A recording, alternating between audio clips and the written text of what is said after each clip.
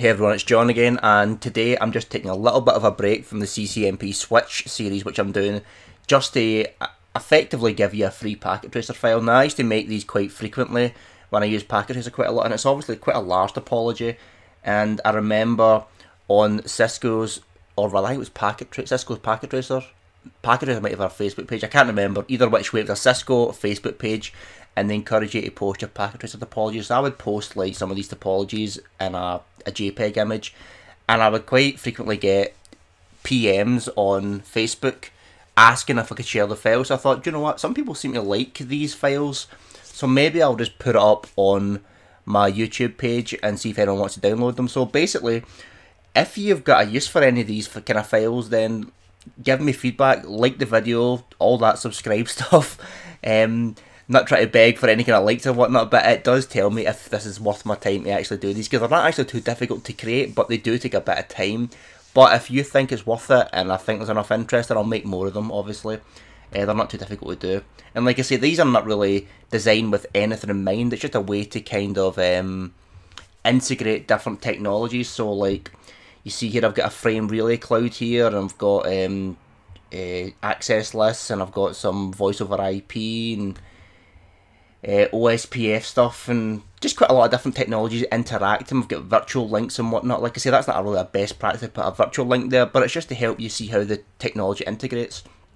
So, like I say, I'll just do a quick demonstration of some of the stuff you can do in this topology, and by all means, take it, break it, change it, make it your own, do what you want with it.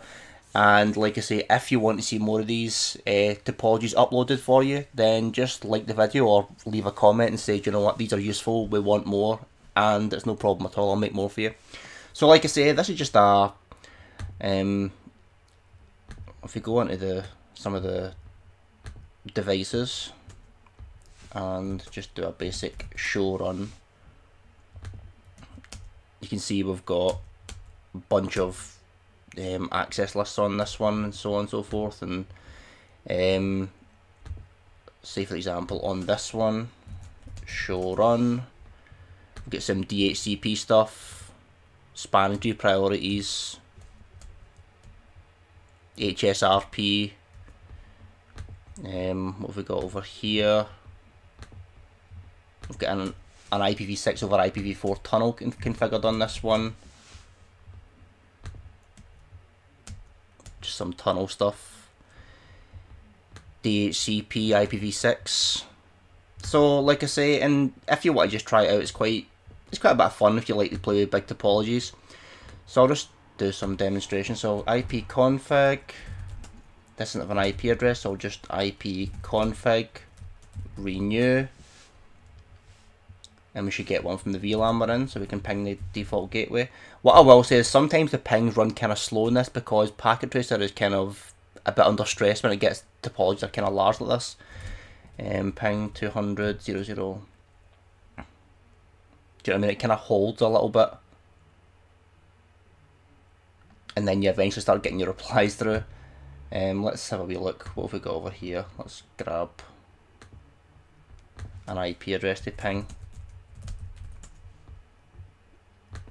So we'll ping this one 8814.2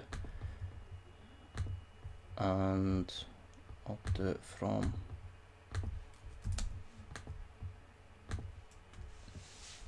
Say ping it right across the network. And actually if you want to see the actual simulation of that I can do the same thing again. And you'll be able to see the packet, there's the packet there. And if we just play you'll see it actually moving across the network. And it goes. Move over here a little bit. Now we're going over the frame relay. There we go. And then zip over the optical. There we go. And down over to the ISPs and down and then it's going to take its path all the way back in the return traffic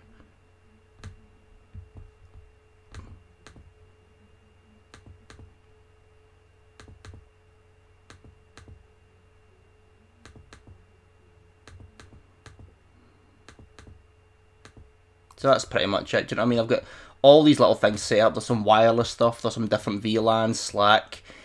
Um, you've got your IP phones configured here. Um, so if I did, this is number 5403, so I did 5, 4, uh, 0, 0, oh, you know, I'll take it off that rather. hang that up and do it again. So 5, 4, 0, 0, 2. Then we click this one, this one's ringing, you can see it flashing there. And now it's connected. Hang up. So we've got voice over IP, lots of different stuff. And like I say, that's just it. There's not really much to this video. It's just a free file to share. So if you want to download the file, just look in the description and I'll have a Dropbox link for you to download freely. And like I say, if you want more of these, like the video and I'll know to make more of them. Because like I say, they're not difficult to make for me, but they do take a bit of time. So if it's worthwhile, then I'll do some more for you. Okay, doc, so that's the end of the video. and the next one, we'll get back to the actual CCNP Switch vid uh, video, and I'll see you guys soon. Okay, doc, so thanks very much, and bye-bye.